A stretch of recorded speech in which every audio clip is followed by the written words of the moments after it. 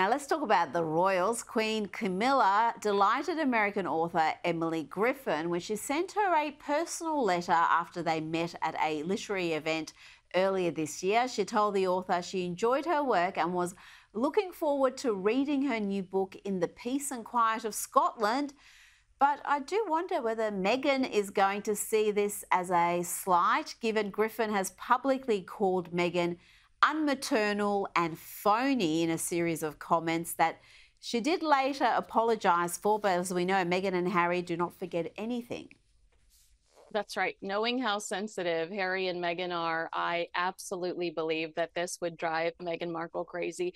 You know, Emily's comments didn't cross any lines and they weren't necessarily cruel, but unfortunately for Emily, she made these comments in that 24 month period after the Oprah Winfrey interview where you were not allowed to crit- critique Meghan Markle or you were canceled. Then, you know, remember Bethenny Frankel saying, after I posted a negative video about Meghan Markle, a superstar called me and scolded me. Then South Park kind of changed everything.